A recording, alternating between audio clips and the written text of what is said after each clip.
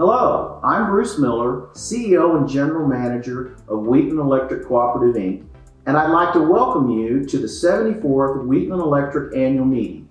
74 years is a long time, and we want to thank you, the members, for allowing us to serve you.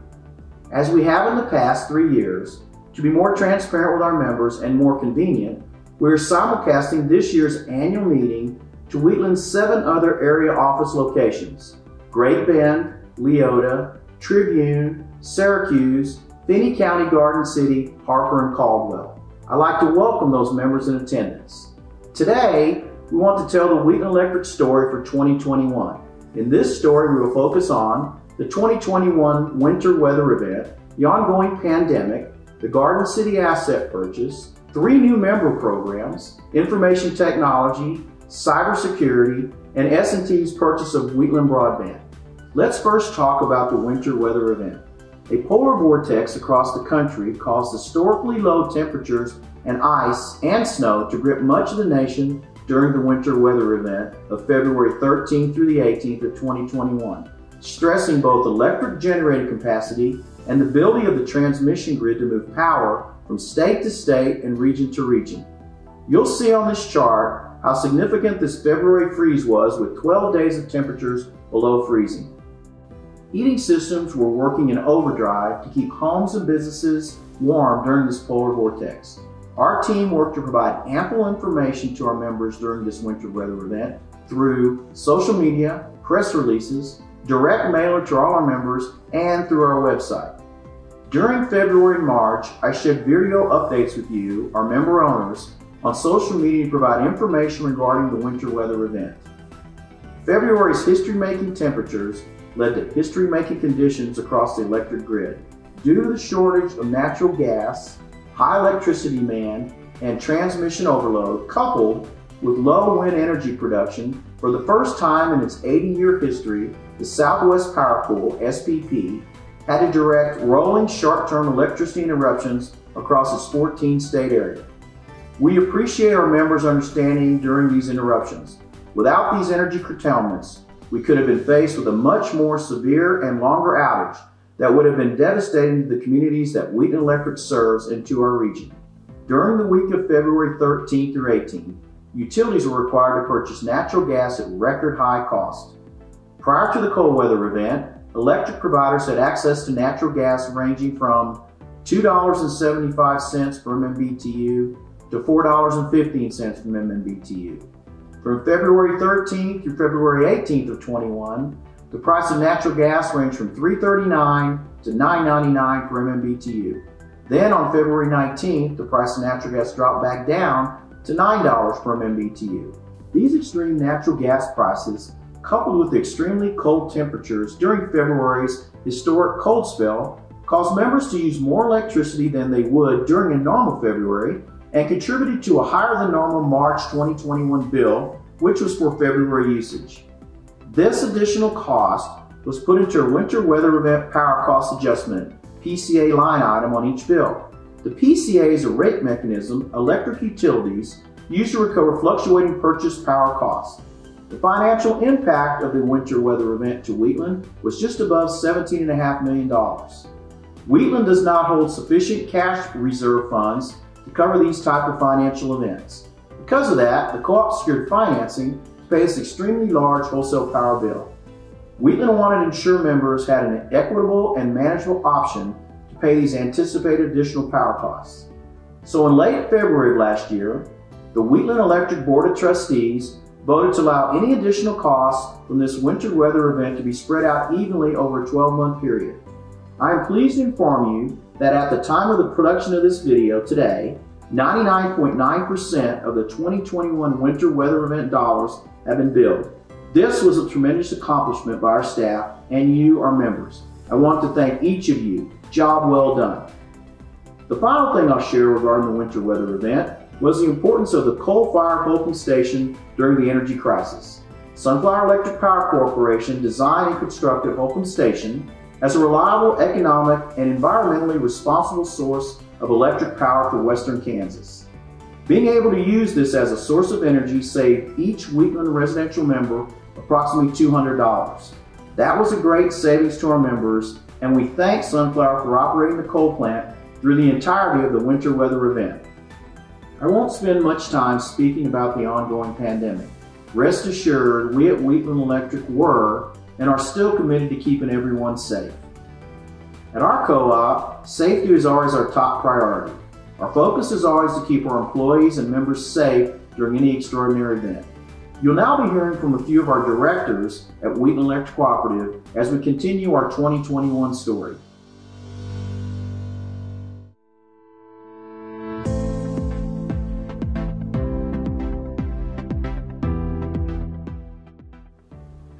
My name is Rick Klaus, Director of Operations for Wheatland Electric. I am happy to announce the completion of the Wheatland Electric City of Garden City Asset Purchase Agreement. The signed agreement process started in September 2019 and was completed in December of 2021. Wheatland Electric had some electric substations that bordered the City of Garden City service territory. The age and location of these substations were a concern for Wheatland Electric. The City of Garden City is experiencing growth, and these substations are no longer serving the needs of our members. The major concern was dealing with the stranded asset. Plus, we have the need for new substations in our service territory that are more conveniently located. The agreement consists of the sale of several electric substations to the City of Garden City to avoid creating stranded assets for Wheatland Electric. The result is new substations strategically placed in Wheatland territory with the capabilities of growth for the next 30 years. The good news for the Wheatland members, someone else paid for this transition. Thank you for attending the Wheatland Electric annual meeting.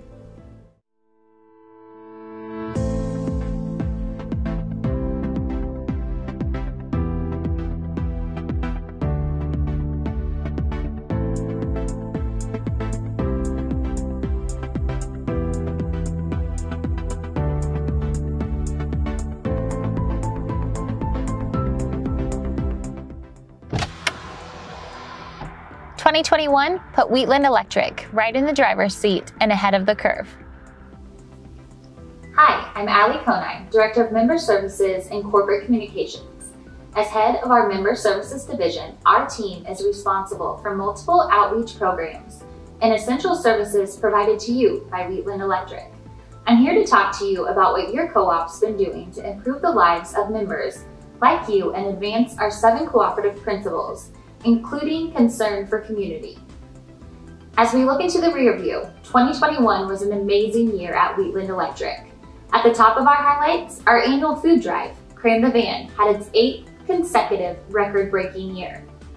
We were optimistic when we said, yes, we can cram the van.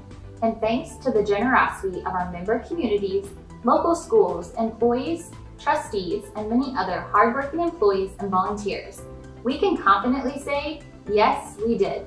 Through our third annual Co-ops Care Charity Golf Tournament, 13 in-person events stretching from Tribune, Kansas to Caldwell, Kansas, multiple friendly school competitions in districts like Scott City and Great Bend, and an online donation campaign. Members like you helped us raise 44,576 pounds worth of cash and can donations for a dozen of our area food banks. That's more than we've ever collected in a single year, and we couldn't have done it without the support of all of our Southwest and Central Kansas communities. In recognition of the positive impact made by Cram the Van, our 2021 campaign received special recognition from the National Rural Electric Cooperative Association, or NRECA. Wheatland Electric and our member services team took home a Gold Spotlight on Excellence Award for the Best Total Communications Program. Thank you to the membership for helping us cram the van a nationally recognized and award-winning project at Wheatland Electric. As we look down the road, we're introducing three new member service programs in 2022 as part of our commitment to you. These initiatives will both enhance your member experience and propel us into the future as a comprehensive electric co-op.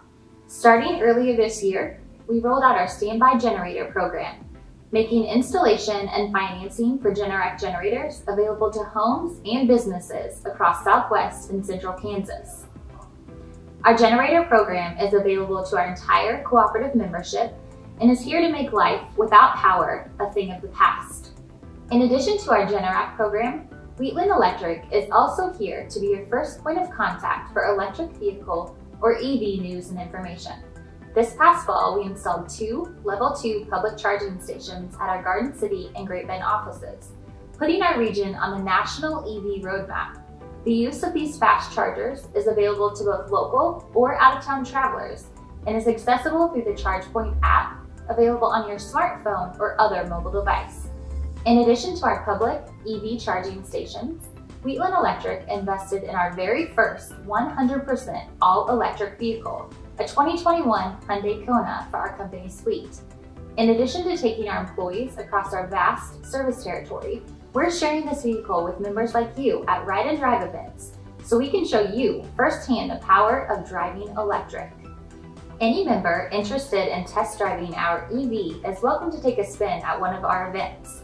Visit us on our website, follow us on social media, or check out your monthly Kansas Country Living magazine for upcoming events. Lastly, starting this year, we've begun partnering with trusted local electricians in our service territory to provide you with the opportunity to handle all your electrical needs.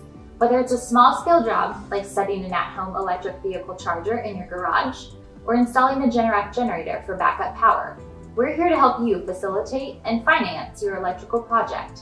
Just contact your local Wheatland office to get started today. At Wheatland Electric, we're charging forward in groundbreaking ways. And in 2022, we're here to not only deliver energy for life, we're here to drive it.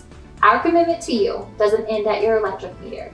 Our relationship and responsibility extend beyond that to your needs, principles, and everyday life. While our primary function is to provide services that are safe, reliable, and competitively priced, we're more than your electric provider. As a cooperative, our mission is to enhance the lives of our members and serve the long-term interests of our communities. With a focus on the future, we're prepared for what's on the road ahead.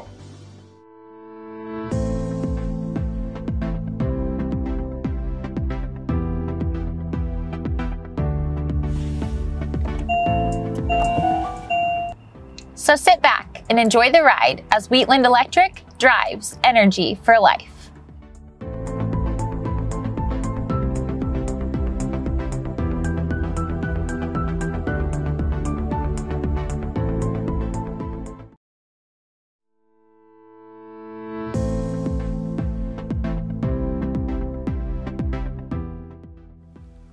Good afternoon. I am Jevin Castleman, Director of Information Technology for Wheatland Electric.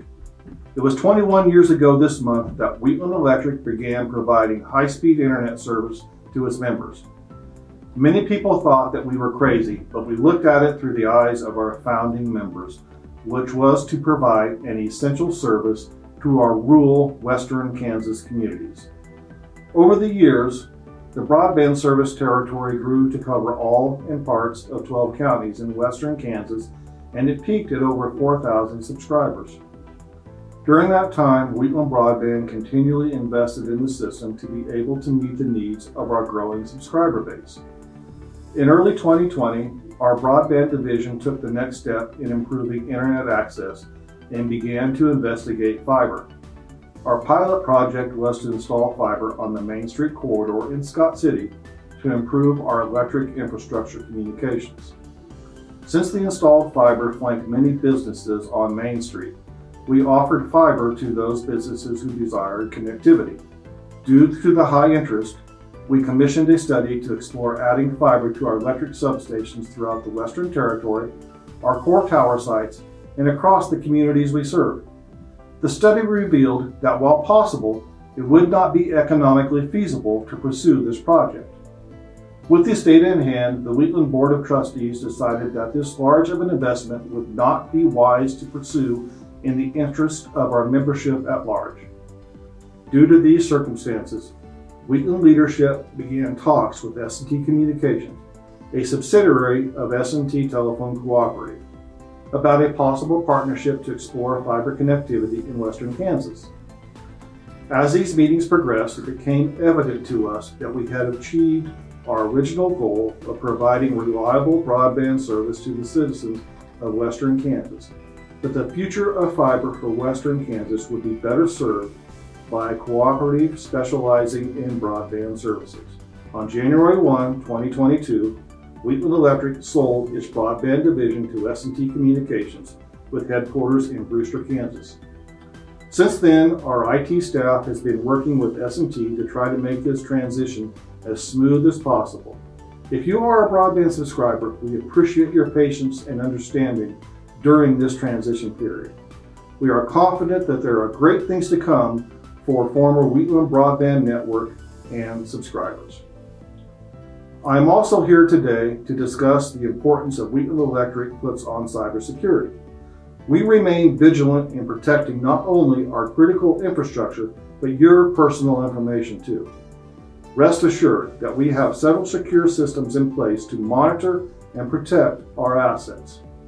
With the ever-changing landscape and threats being posed, we know complacency is not an option. Wheatland is in the process of implementing a zero trust architecture which simply means that if you want access to our network, you're going to have to have the proper credentials and you're going to have to prove that it is really you. If you are able to make it past those checks, then we will grant you access to the network and to the information you need. But it doesn't end there. All digital traffic at Wheatland Electric is continually monitored for malicious activity and improper requests. With these systems in place, we feel we are doing everything in our power to protect the bulk electric system and your personal information. If you have questions or would like to discuss these items in more detail, feel free to reach out. Thank you, and we hope you enjoy today's meeting.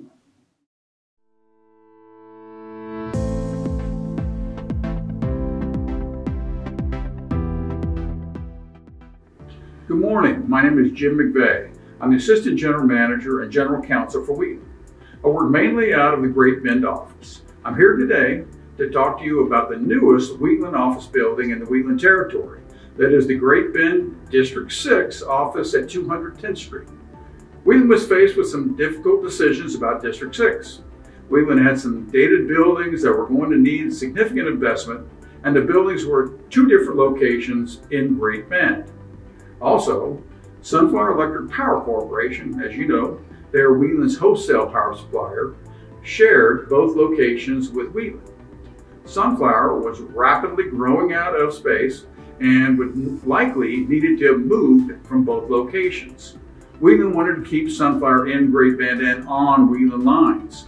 Wheatland's Board of Trustees and the General Manager came up with a win-win solution for both companies. Wheatland decided to purchase new property and construct a new building at a new location that combined all of its operations and administration at one location. This better serves our members. That's our focus.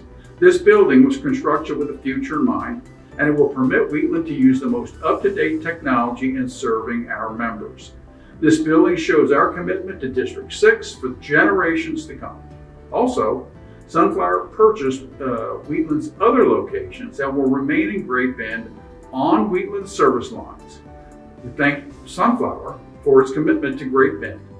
Wheatland's new building has several interesting features. Wheatland's general manager, Bruce Miller, wants the new building to feature a green park that could demonstrate the use of renewable energy sources. This also includes two new electric vehicle charging stations. Wheatland wants to set the tone in looking to the future in rural Kansas. Wheatland wants to look forward to what is next for our industry and what's next in energy generation sources. The Green Park features solar panels and a wind turbine that is connected to a storage battery that can illuminate the entire Green Park at night. The Green Park also has a water storage system that can be used to irrigate the lawn in the summertime.